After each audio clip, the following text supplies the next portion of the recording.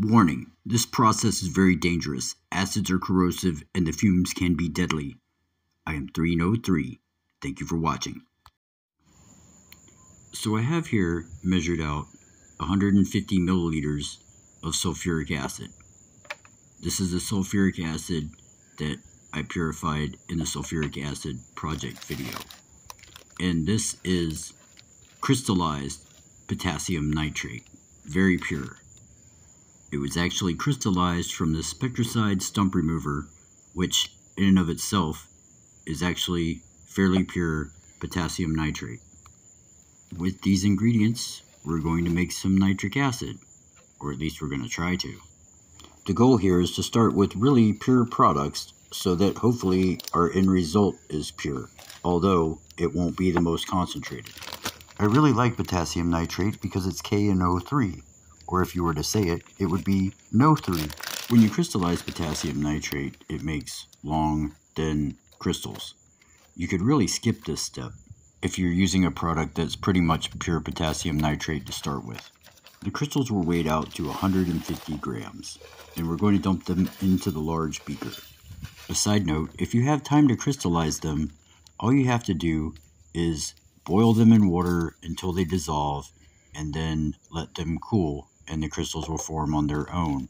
You want to use about two parts water to one part product. And now we're going to add just enough water to get these crystals to redissolve. I put in about 100 milliliters of water here. And we're going to turn the super scientific hot plate on because the solubility of potassium nitrate greatly increases with heat. And every time I've said water so far, I mean distilled water because specifically in this, if you use tap water that has fluoride or chlorine in it, it can really mess everything up. So only distilled water. The reaction of dissolving potassium nitrate in water is interesting because it's an endothermic reaction, meaning that it actually gets cold. But with the super scientific hot plate, we should be able to reverse that quickly and get the crystals to dissolve. This is just a few minutes later and you can see that they're really starting to get dissolved and the frost is gone from the sides of the beaker. Where I am, I would be able to purchase nitric acid and have it delivered if I wanted to. But the average price is about $70 per liter.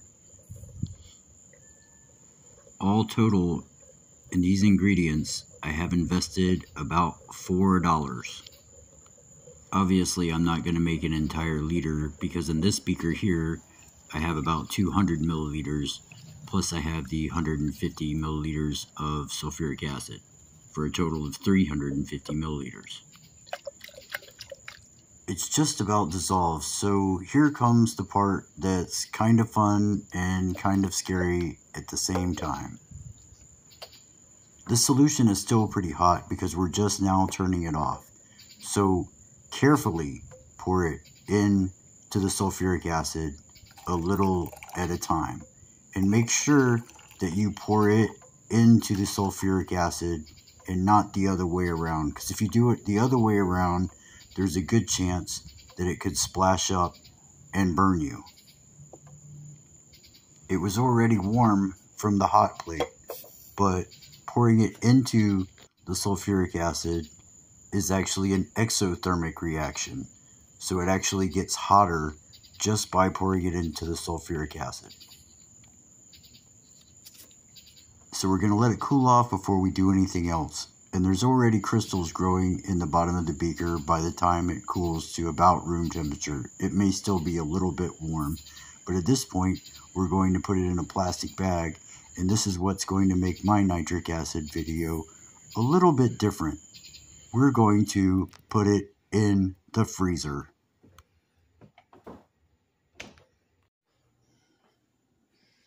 This would have been ready in about four or five hours, but I had things to do. The idea is when it reaches about 32 degrees Fahrenheit or 0 degrees Celsius, all of the what's now potassium sulfate will settle out and what we'll have left is HNO3 or nitric acid. As soon as I took it out of the bag, I could smell the familiar smell of nitric acid.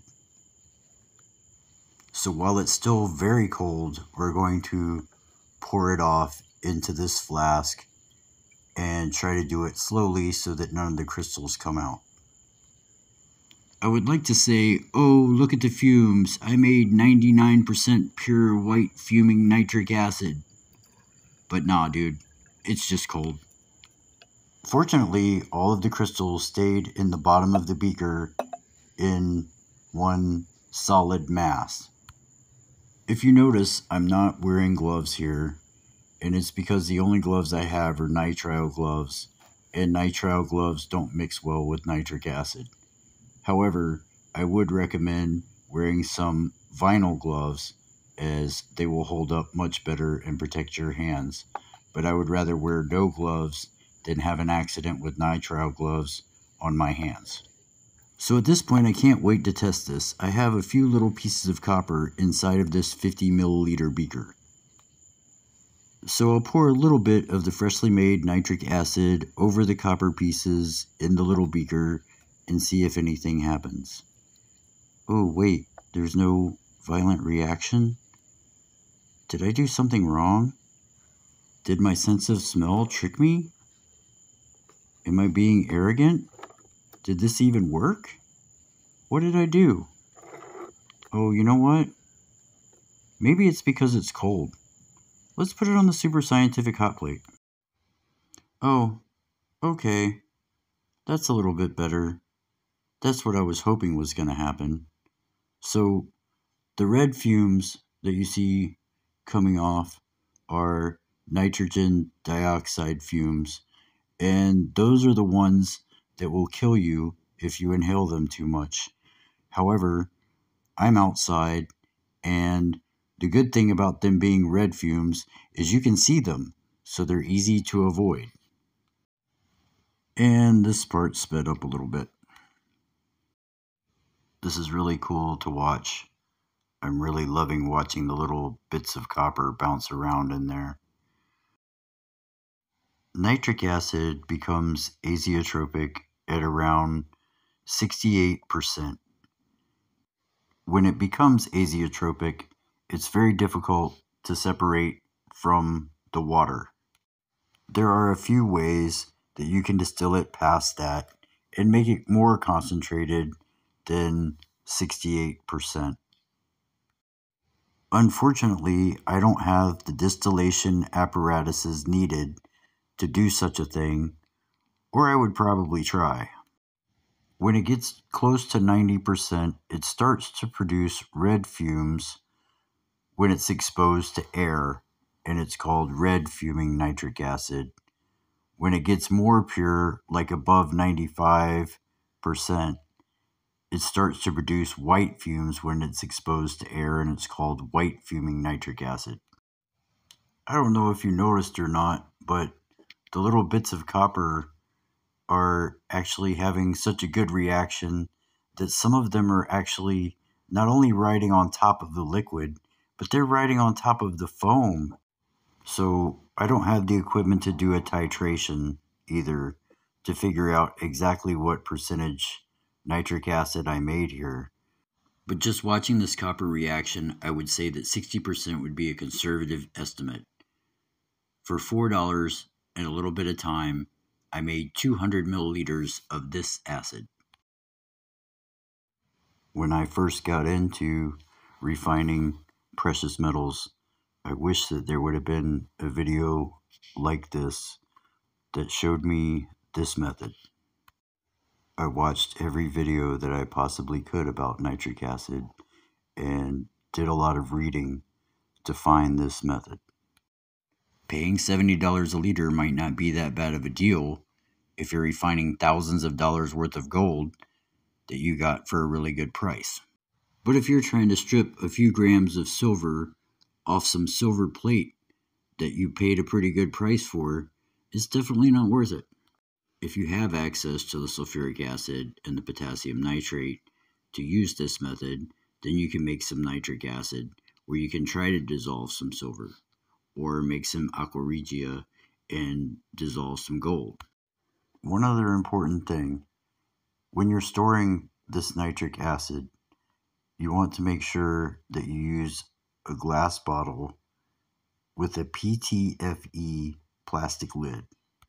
I normally don't ask in my videos, but if you like this video, if you learned something, take the time to subscribe, like, share, comment, and watch my other videos because all my videos are pretty much connected. If you are able to and you like my work, please consider checking out my Patreon page and supporting me in that way. I would greatly appreciate it. I'm working really hard to bring good videos and good information to YouTube.